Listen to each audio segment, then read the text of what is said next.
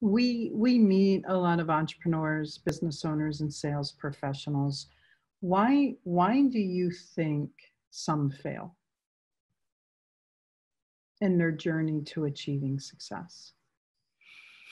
Well this is a mind read and i would you know i'd want to ask them you know for what purpose did you choose not to have yourself worthy enough to to live your life the way you want to. You know it, it, stems to so many different things and and the whole cat is is you know the cat acronym is is is is a huge is a huge um, you know factor in that. You know from from day one from the time we we come out of our mother's womb we're taught to to judge. We're taught about mm. separation. We're taught about either love or hate or whatever it is that we're taught about.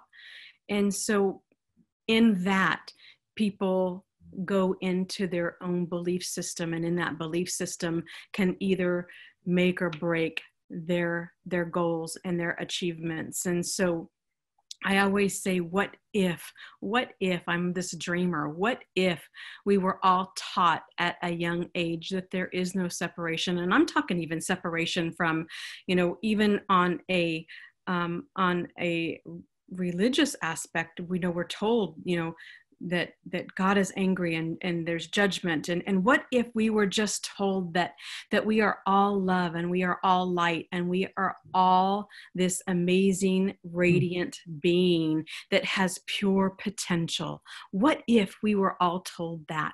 What would